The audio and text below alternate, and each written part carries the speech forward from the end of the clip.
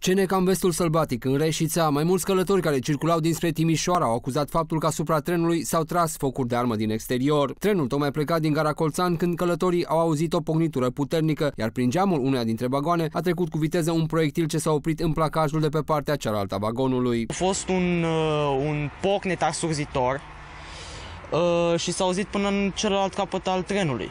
Deci nu știu ce să vă spun, uh, n-am auzit cu urechea dreaptă, deci a fost un pocnet îngrozitor. Uh, a trecut la 20-30 de centimetri de capul mamei mele.